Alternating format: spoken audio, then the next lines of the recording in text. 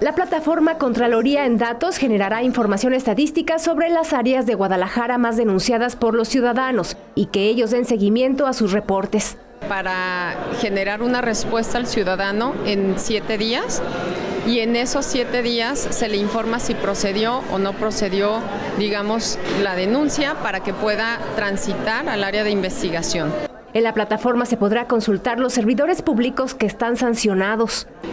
Si le piden dinero por realizar o agilizarle un trámite, perfectamente lo puede denunciar ante la Contraloría. Si le piden más, más requisitos de, lo que, de los que el reglamento de Guadalajara pide para para, por ejemplo, tramitar una licencia municipal o para otorgar algún tipo de permiso y se le está pidiendo más requisitos de los, de los que contemplan los reglamentos, Incluso se puede denunciar la mala atención de un servidor público. El maltrato también es una causal de responsabilidad administrativa.